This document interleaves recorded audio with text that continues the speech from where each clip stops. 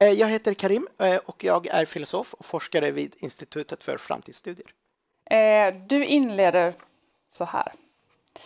Det faktum att en person är man eller har grannar med låg inkomst kan vara statistiskt korrelerat med risken att personen begår brott. Men att basera ett offentligt beslut som att neka villkorlig frigivning på sådana skäl skulle vara en form av diskriminering.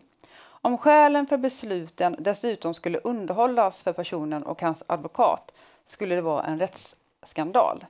Du skriver att det här exemplet kan verka barockt, men du säger och skriver också att om den utveckling vi ser idag fortsätter så kan vi lätt hamna där. Berätta. Ja, eller jag menar, det här är vad, vad som händer i USA just nu. Eh, så i USA så finns det ett, eh, ett system som heter ehm, Eh, oj, nu blankar Kompass, tack, ehm, som gör just det här. Ehm, man eh, stoppar in massa eh, datapunkter som är korrelerade med ehm, upptäckta återfall, alltså återarresteringar.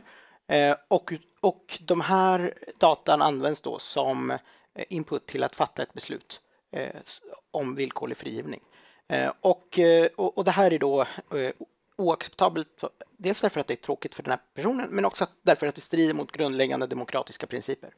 Så en väldigt viktig princip för eh, demokratier och för stater som ser sig själva som rättsstater, det är att när staten utövar makt över en individ så måste dels eh, eh individen få en förklaring för va varför varför, eh, varför det här händer.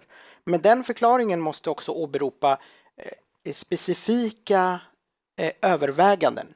Alltså överväganden som är specifika för det här fallet. Du körde för fort, till exempel, är, är en rimlig förklaring.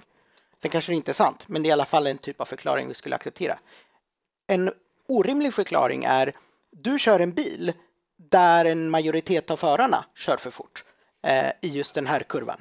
Eh, så, så, det, så det är det jag menar att eh, eh så som de här AI-systemen är konstruerade så eh, överskrider de två väldigt viktiga demokratiska principer och det ena är att eh, skäl för eh, beslut ska vara specifika och inte statistiska och att de ska vara eh, för, förklaras eh, på ett tillgängligt sätt för den personen som berörs. Men kan man då ens använda beslutsalgoritmer? Så den typen av algoritmer som jag pratar om kallas för machine learning. Så det finns ju, och det är väl den typen som börjat användas väldigt mycket de senaste tio åren. Um, och uh, vi menar i, i, en artikel som vi publicerade i Philosophy and Technology, som den här är baserad på, eh, att det är det, det, om vi skulle använda dem på det sättet som de används till exempel i Compass, men det finns andra sådana system, Midas är ett annat system som används i Detroit, då strider det mot de här fundamentala Eh, reglerna för, för hur en rättsstat ska fungera.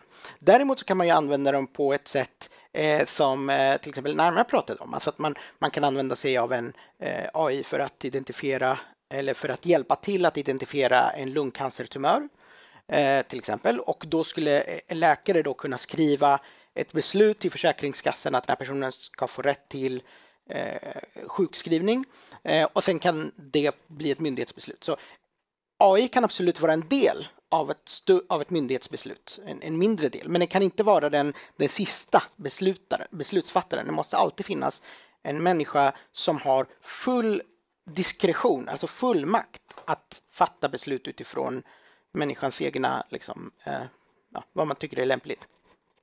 Men det kräver då kanske ändå att det finns en viss transparens i algoritmen för, eller? Eh, vad menar du? För den personen som ska ta det här sista beslutet så måste den ändå förstå hur vägledningen dit eh, går till. Um, ja, alltså full transparens är ju omöjligt mm. eh, därför att eh, det är väldigt svårt att veta hur de här algoritmerna funkar. Men eh, om det, om det är till exempel en läkare som kollar på en röntgenbild så kan den läkaren, liksom, även om läkaren inte förstår exakt hur det här funkar, så kan läkaren ändå tolka och förstå den uppgiften Eh, i, en, i, den, i det sammanhanget. så att säga.